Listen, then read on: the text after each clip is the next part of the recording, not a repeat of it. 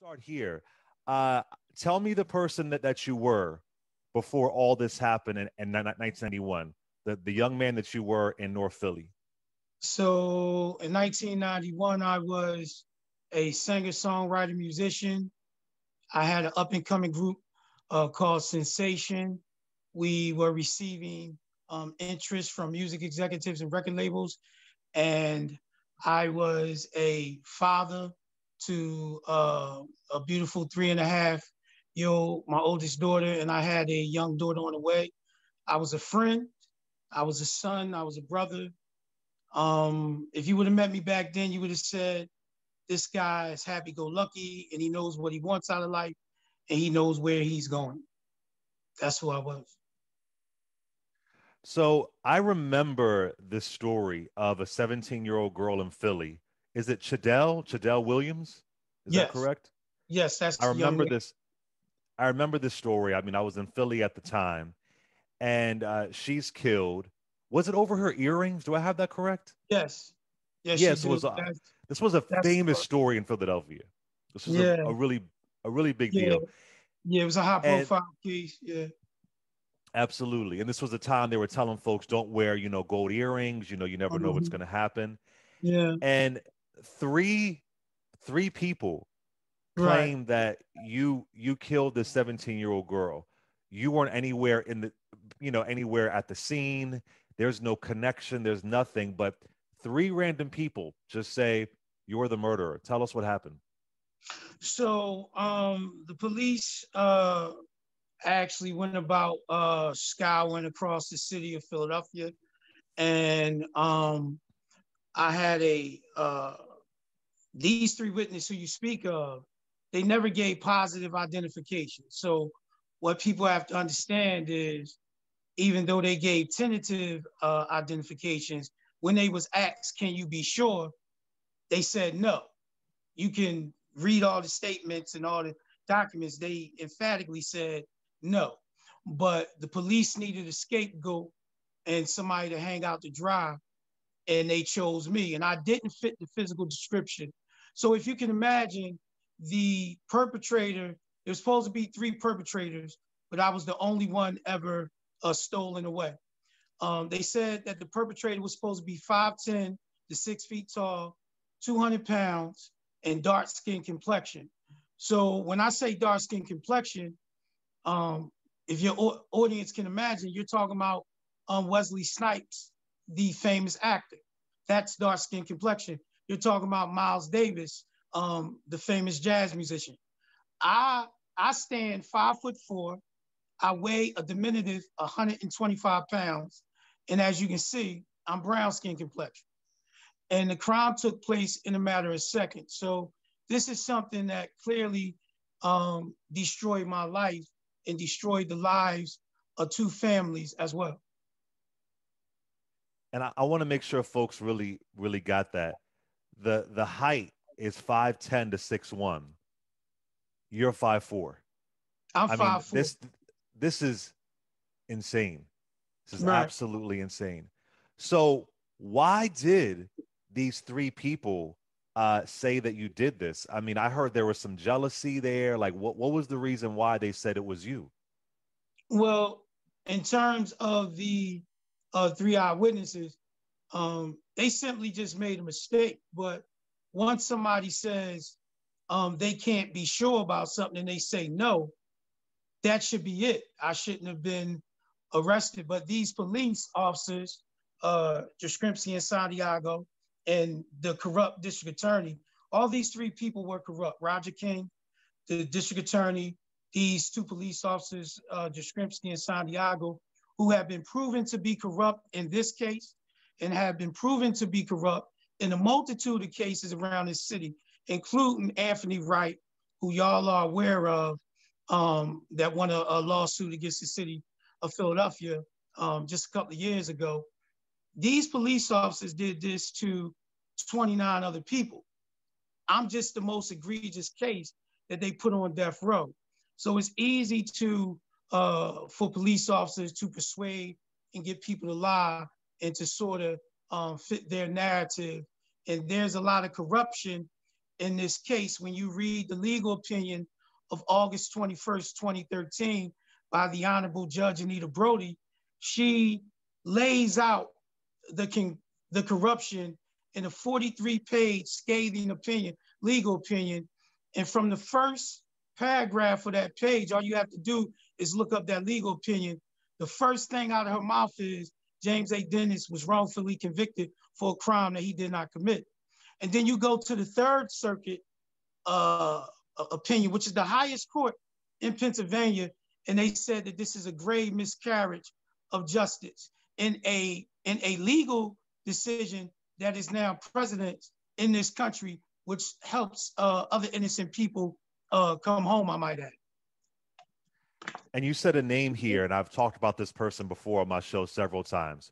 Roger King. We interviewed Chester Hollman uh, a few weeks ago. Roger mm-hmm. King was a black prosecutor, and he was famous. He was infamous for locking up as many black folks as possible.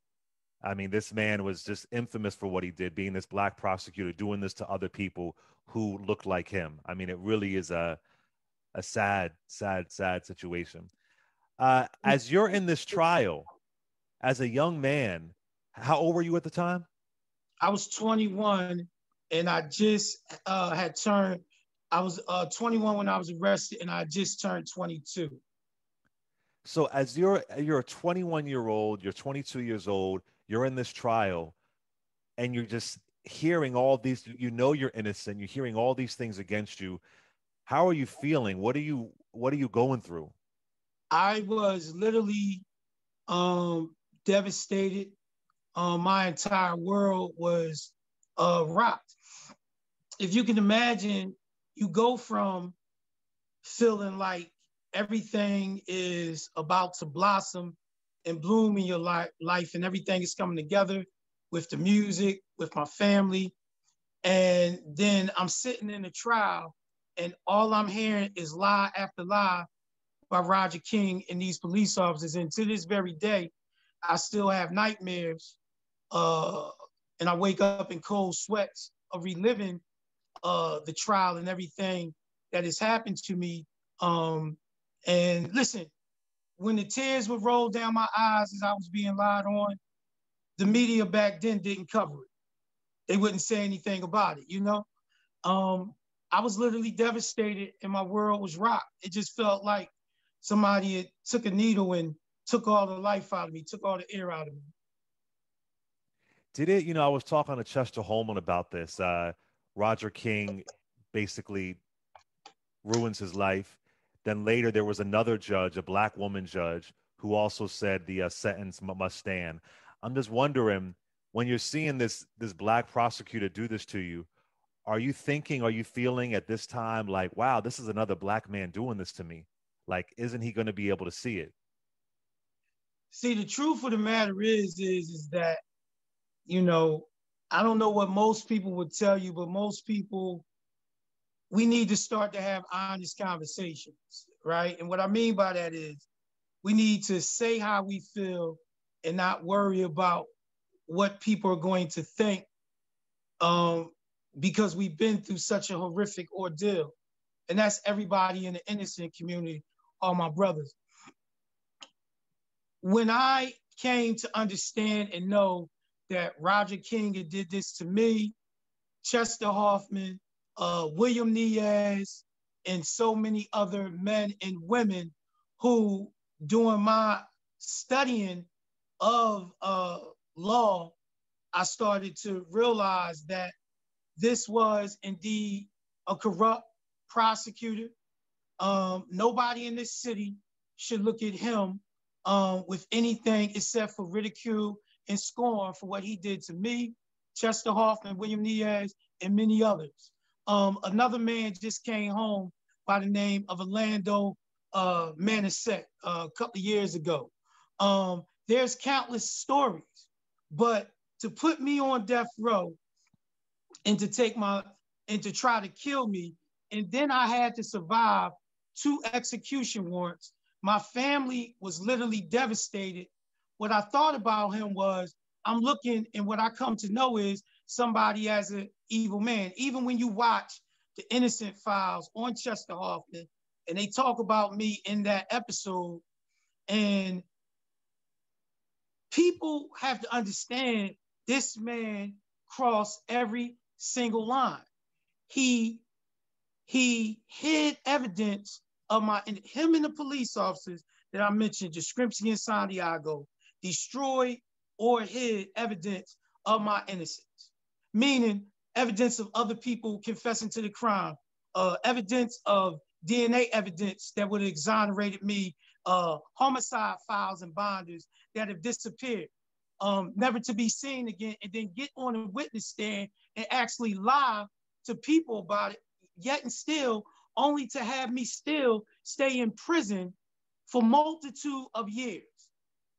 These are truly evil people, and um, the city should recognize each case as such, and the FBI in the city should do an audit of all the Roger King cases need to be audited and re uh, looked into again, and everybody uh, should have a fair uh, trial in those cases. All his cases should be reinvestigated and looked over again, starting with a case by the name uh, uh innocent man on death row uh, right now by the name of Ralph Stokes, who, who has spent over 30 years um, in prison.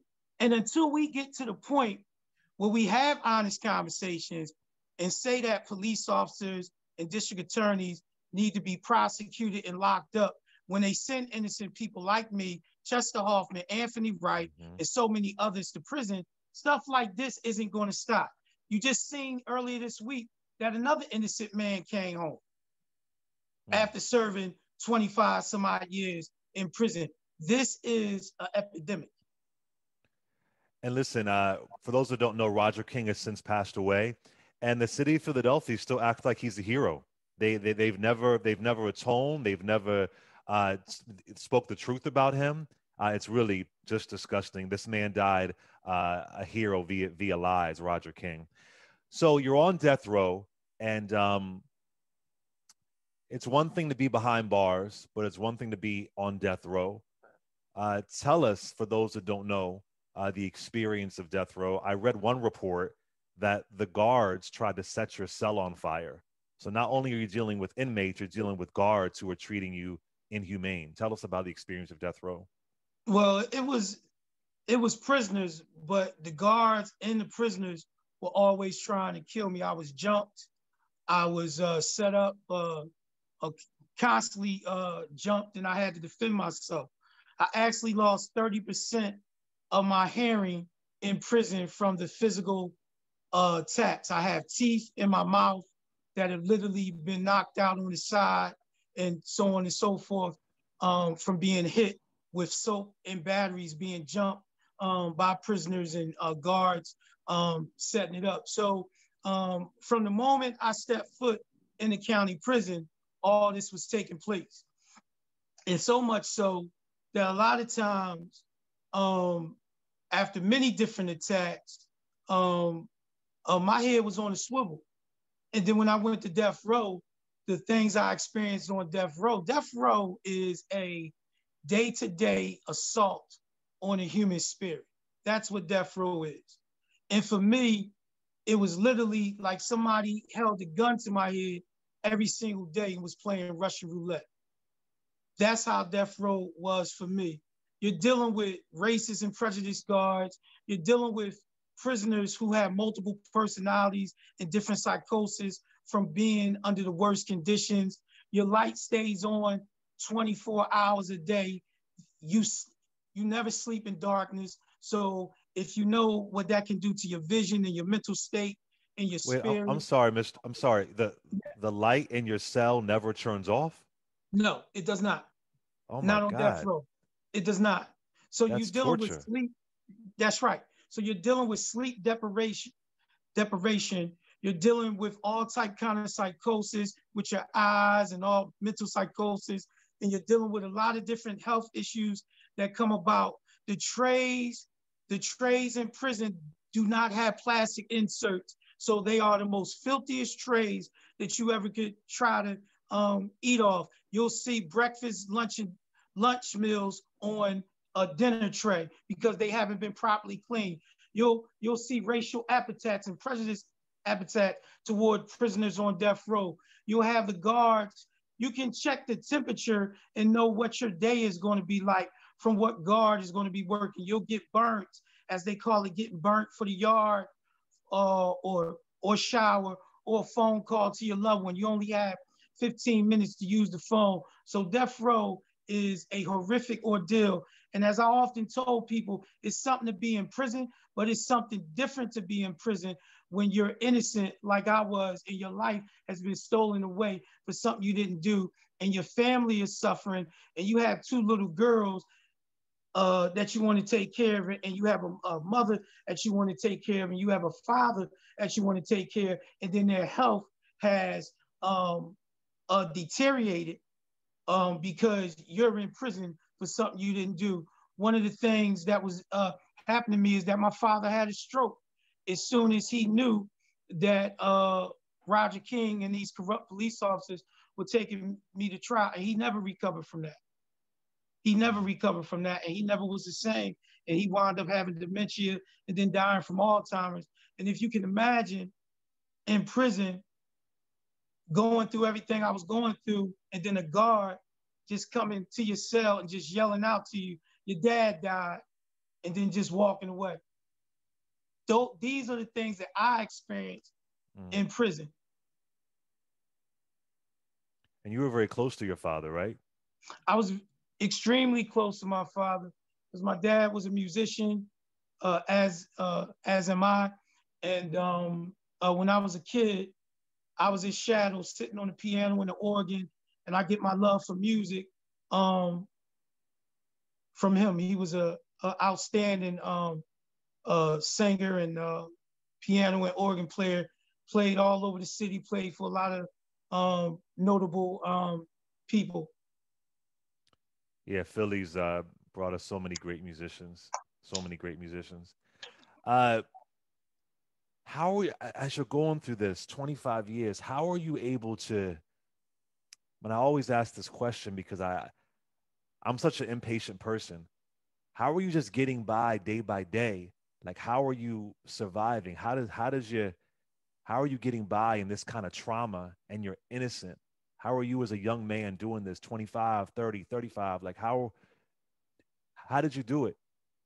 So for me, it's something to be in prison and then having the guards and the prisoners all trying to kill you and everybody hates you.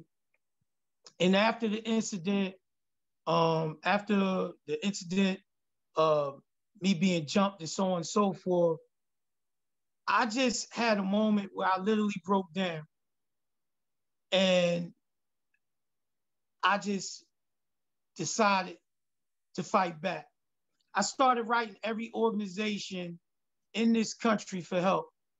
I wrote uh, James, Reverend James McCloskey, Centurion Ministries in New York.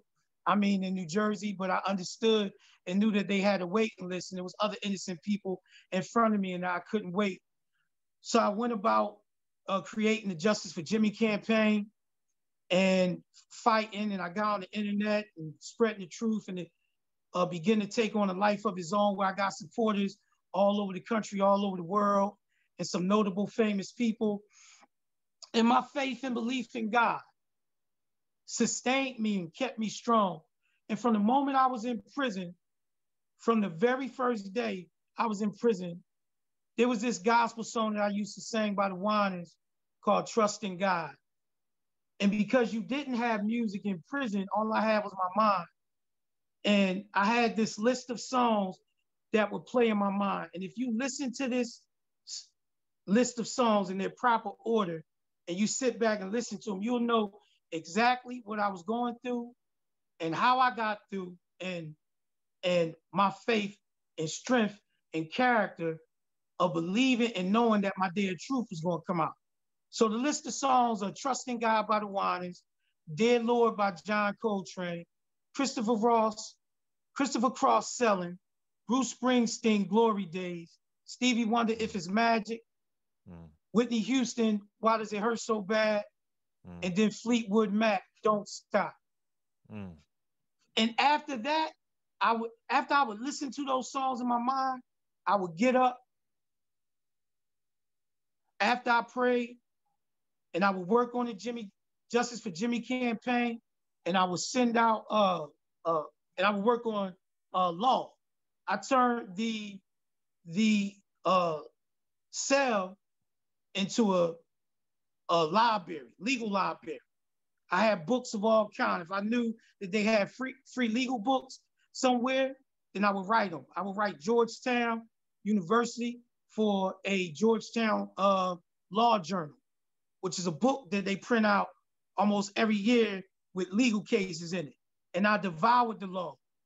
I called it putting up AI numbers, Allen Iverson, where I would literally put 55 letters in the door of writing anybody who was an activist or organization for help. And I fought back. And I never ever gave up. All about faith and belief in God that my mother and father had instilled in me ever since I was a kid and growing up in Abbotsford Projects and in North Philadelphia, you know, having that, you know, having that um uh experience growing up there, I knew that I could make it anywhere. And I knew that I could get through this horrible, horrific time and restore my family name back um, to what it should uh, should be. So I want to talk about how your conviction is overturned, but what really blew my mind with your story, your conviction is overturned. You're exonerated, but you're forced to stay in jail because the state appealed your conviction.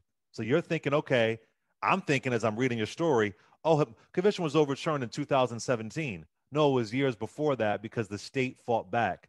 Uh, tell, tell us about how your conviction's overturned and you being forced to stay in even after you're exonerated. So on August 23rd, 2016, the second legal decision that I spoke about came down that is now president in this country and helps um, other innocent people come home all over the country by the third circuit. Uh, that's where they said it was a grave miscarriage of justice and recognized my innocence for the second time. So you would think I was that I'm on my way home, but the district attorney's office, which is Seth Williams, who who who your listeners should know is another corrupt, evil person who is now out of prison, um, who went who went to prison six months after I was out. Um, he appealed and told my lawyers after, only after, and this isn't very important, only after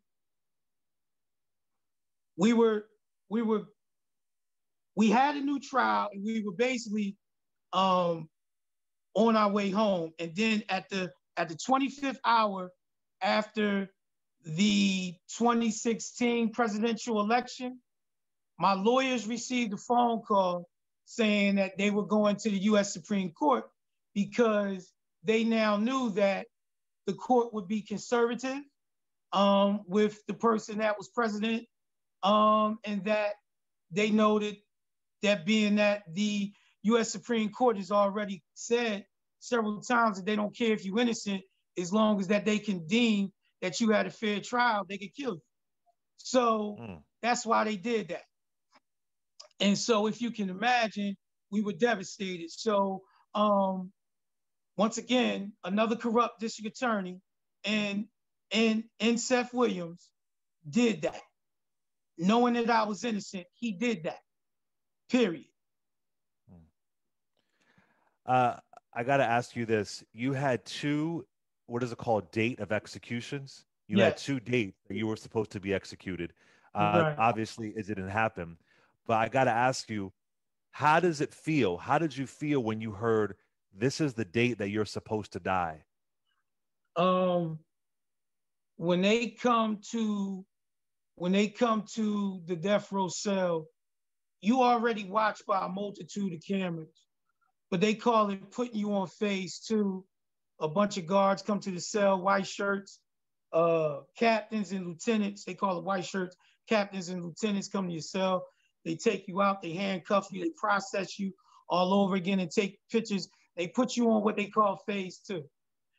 and it's a holding cell where the cameras are literally directly into the cell on you 24 hours where guard sits outside. There's nothing in the cell. You basically uh, have no property in there and you're just waiting to die. And when they came to um, the cell that I was in, um, and they came and got me, um, I felt um, it just felt like it was a nightmare, like it wasn't a, you know, like it wasn't true. Like this can't be happening to me. Like my life was on such a different trajectory, and now they're about to execute me for something I didn't do. Um, I was scared. Um, I worried about my mother and my daughters more than I worried about myself. It's an emotional roller coaster that no human being should ever experience. I once um, heard a historian um, say that um, he said something to the effect that a man, a man is the only mammal that doesn't know when we're going to pass away, something to that effect. And um, to actually know that this is the day that you're going to die for something you didn't do, um, you never get over that. I've, I've never gotten over the fact that I was on death row and I literally um, barely survived two execution warrants. One of those execution warrants was close to my youngest daughter's birthday, who was born just a week after um, I was stolen away. So if you can imagine, um, I I now suffer from PTSD, panic, and anxiety attacks, and I'm constantly trying to fight to be a, a similar to what I used to be. But my daughters have had it extremely harder than you can ever imagine. And um, I always say that my family suffered more than I, but um, it's a it's a it's an unimaginable suffering that no human being should ever experience um, in their life.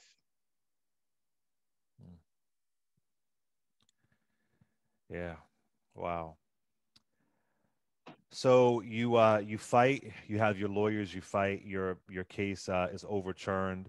Um, I couldn't find this in your in your in your uh, your records, but uh, I'm sorry. And, and what I what I researched was there any kind of compensation? Not that that would change anything. That not that you know some money would make it all better. But was there any kind of financial compensation for 25 years of your life? No. If you look if you look at the um, Philadelphia Magazine article that just came out January, February issue, um, feature story in Philadelphia Magazine, um, we're in court right now. If you can imagine something like that, um, the city, um, um, we're in court right now, and the city um, has been fighting um, tooth to nail not to do right right by me, even That's... though they know, even though they know that Roger King, even though you yourself and your listeners know that Roger King is a corrupt district attorney. Just look up the Lex Street murder case in this city, you know, and you'll see. Just look up, you can go and look up Anthony Wright's lawsuit, Chester Hollman lawsuit, and the lawsuit that I have filed and see every single case that Roger King and Detective Santiago and Jastrzembski have done this to. Um, uh, the city has appealed to the Third Circuit, and we now waiting on the decision uh, from the Third Circuit. But this is um, them putting me through more hurt, more pain, um, and all I want is a sense of justice. Um, if they literally would apologize to me, I wouldn't even care. And that's the truth of the matter. Um, but if but if you understood, literally understood what my mother and my two daughters and my family have went through and what to what I went through and what I still go through. I'm in therapy uh, no less than twice a week. Um, I'm on medication for PTSD. panic and, and anxiety attacks. I literally live my life in a bubble now because I don't want to go anywhere. I make sure that I have a GPS on my phone and wherever I go, there's cameras, so on and so forth. You know what I mean? Fearful because of what they done to me. You know what I mean? You know, and I love this city. I love all the people of this city and everything about this city. But there is a pocket of corruption that has has been passed down and the city chooses to ignore countless times after countless times, starting with these, these police officers are from the Frank Rizzo era. Everybody in this city know right. Frank Rizzo was corrupt and racist. That's right. Everybody know, everybody in this city know who Lynne Abraham is. And everybody in this city knows Roger King um, was a corrupt district attorney along with uh, the other people that I've mentioned. This is no secret. I'm not saying anything that is foreign foreign to you. I'm not speaking a different language that people can't understand. We all know this. So if you want to do right, right, and you want to make a change and you want to seem like you're on the right track, then then do the right thing by everybody. This is why it's so important for somebody like Larry Krasner and Patricia Cummings to stay in office. And this is why all of us need to go out and vote for Larry Krasner and not be fooled because the FOP has propped up other candidates of their mm-hmm. choosing that's not going to do right by, by the people. The people should want the right people to go to prison all the time. There's nothing wrong with that. But when you have corruption from police officers and district attorneys, they need to answer for that in the form of justice of them going to prison. They don't need to be working no more. They need to lose their pensions. They don't need to have cushy retirement jobs, so on and so forth. We need to call a space a spade, an ace a ace, and a jack a jack. That's the only way you're gonna make the system better. That's the only way you're not gonna have another Jimmy Dennis. Period. This uh, Larry Krasner has been, for those who don't know, uh, the, the, the DA of Philly. He's been a godsend. He's done some amazing work. Uh, he's really tried to overturn the the demonic things that uh, that uh, Roger King did and so many others. Uh, I, I, forgot her name. They called her the Queen of Death. Well, what's her name? The, uh, the, the the person who was above Roger King. Lynne did all of Roger. this woman, and Lynne she's still around. I mean, she's retired, yeah. but she. Yeah. They called her the Queen of Death. Yeah. I mean, this yeah. is insanity. Understand, understand that Roger King kept kept Death Row souvenir paraphernalia in his office. This is a man that you want to admire. This is a man that is devastated and left in his wake that have destroyed families, my family and the Williams family with lies. This is the this is a man who has destroyed uh, Chester Hollman and, and countless others' lives. This is the man that you want to admire and you want to defend uh, Roger King and these police officers. You can't defend the undefendable. Go and look up for all your listeners. Go and look up James Dennis, August August August 21st, 2013, legal opinions from the Third Circuit and the District Court. Respectfully, read what they say, and and you ask yourself, why am I still going through what I'm going through?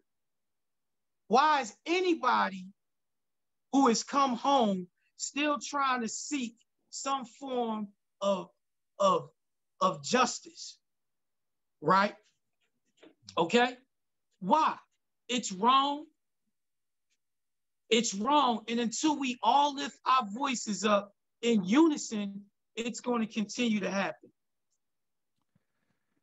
Absolutely. That's why I'm covering these stories. Uh, these are just. And I appreciate yeah. you so much for doing this. Appreciate oh. everything you do. Appreciate Thank everything you. you. do for the innocent co- community. You are a godsend. Thank you very much.